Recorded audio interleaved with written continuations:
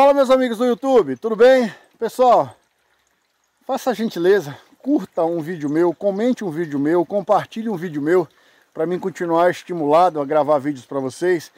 Estou fazendo uma bastante, grava, bastante gravações aí respondendo dúvidas que são colocadas no nosso Instagram, no nosso YouTube, né, comentários embaixo. E isso ajuda e estimula a gente também a continuar gravando vídeos. Peço vocês aí, quem puder, faça isso, faça a gentileza né?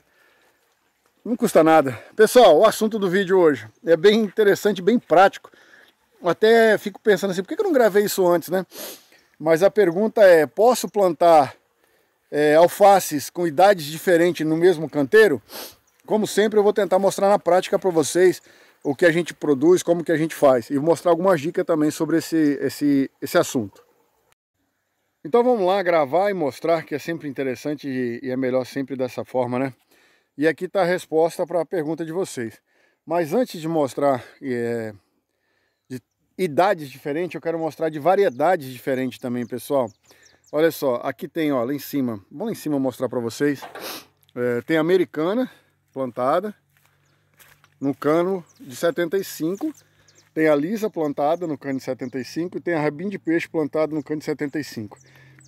Tem americana, rabinho de peixe, americana de novo, idades diferentes, e a lisa, né?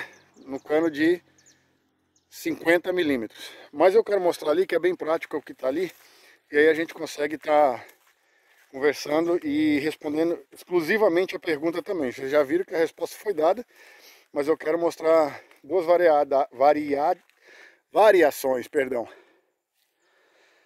Primeiro tá lá, se eu plantar duas alfaces no mesmo canteiro de idades diferentes, eu tenho que tentar fazer isso, ó. Plantar em canos diferentes. Isso seria uma opção, seria uma opção muito legal, uma opção de resultado muito bacana.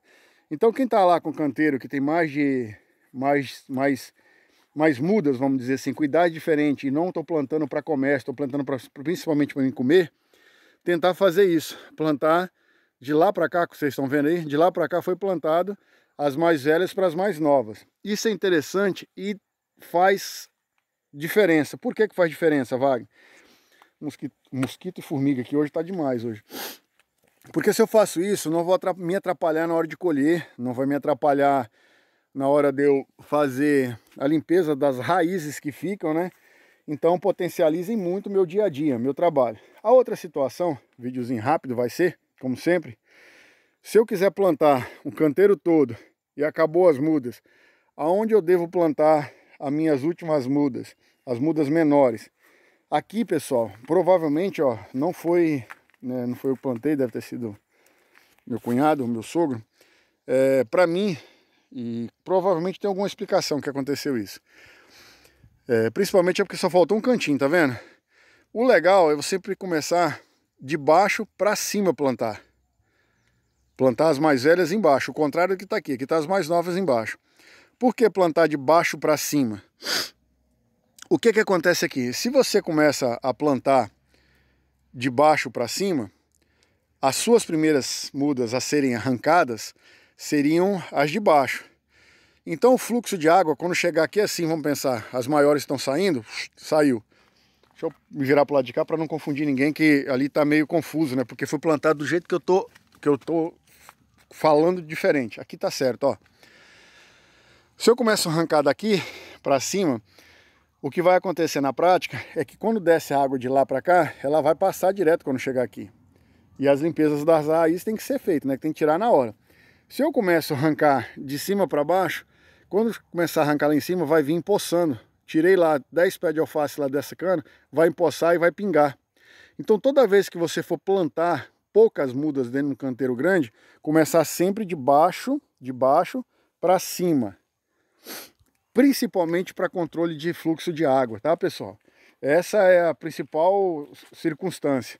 É, aquele lá, desconsidera, porque deve ter sido só um cantinho que faltou e tinha umas mudinhas foi plantado. Lá também foi legal, tá vendo? E lá, se vocês verem bem, ó, plantou de baixo para cima, plantou, plantou de baixo para cima, e aqui em cima, ó, tá plantado as mais novas. Então, quando tirar aquelas de lá, as de cima não vão empoçar, porque foi tirado de baixo para cima. Então parece ser coisa boba, mas faz muita diferença. A gente já apanhou muito, né, por isso. Porque a gente vai plantando e às vezes a gente quer fazer na, na rapidez lá e aí começa a entupir. Entope por que que entope, pessoal? Porque eu tirei no lugar errado. Então toda vez plantar sempre no sentido do final do canteiro para subir. Aí o pessoal pode perguntar assim, ah, Wagner, mas pode esquentar um pouco. Pessoal, pode. Então por isso que é sempre interessante plantar um volume de mudas que dê para você plantar um canteiro sempre. Que seja dois, mas plantar equivalente à estrutura do sistema hidropônico que vocês têm aí. Beleza? Então, meus amigos, é isso? Espero ter contribuído com mais uma resposta de dúvidas que são passadas para nós lá no nosso Instagram, lá no nosso YouTube, né? E quem não conhece ainda, pessoal, dá uma olhadinha lá. É, Wagner Canal do canal, a gente tem um trabalho bastante interessante lá com rosa do deserto e outras coisinhas mais, plantas ornamentais. Beleza? Abraço a todos, fiquem com Deus.